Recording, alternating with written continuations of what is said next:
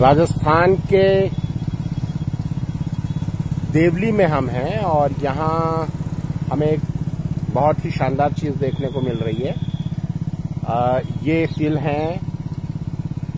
ये तिल का तेल है। और इन्होंने अभी मुझे गुड़ खिलाया है सुबह सुबह का। आ, ये मेरी साइकिल है। मैं साइकिल यात्रा कर रहा हूँ दिल्ली से बम्बई और यहाँ तिल का तेल निकाल रहे हैं और इन्होंने ये कोल्हू लगाया है लकड़ी का और बैल की जगह मोटरसाइकिल को लगाया है।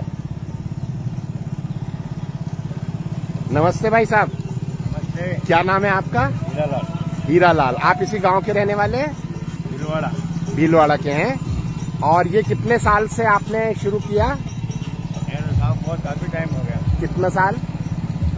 ये करीबन हमारे फूले के पूर्वज चलाते थे। अच्छा पहले गाँव में चलाते थे और बैल से निकालते थे।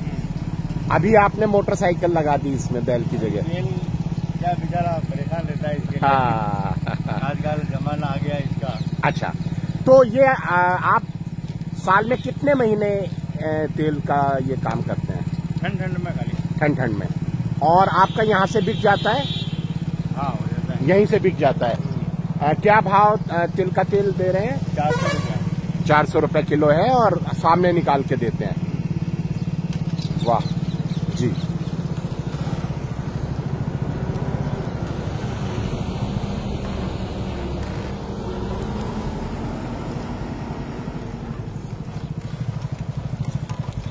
अब ये अपने आप चलती रहेगी।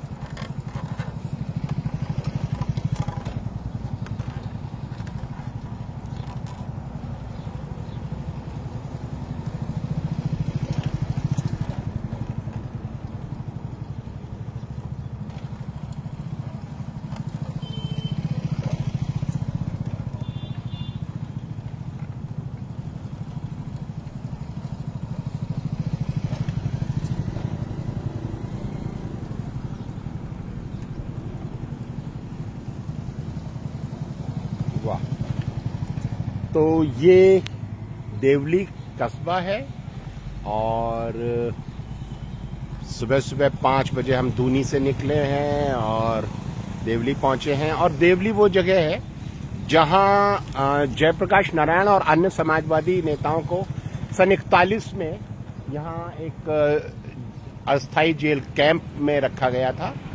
और यहाँ जयप्रकाश नारायण और उनके साथियों ने एक महीने का उपवास किया था और ये मांग की थी कि जिन जिन राज्यों के राजनीतिक बंदियों को यहाँ रखा गया, उन सबको उनके राज्यों में वापस भेजा जाए।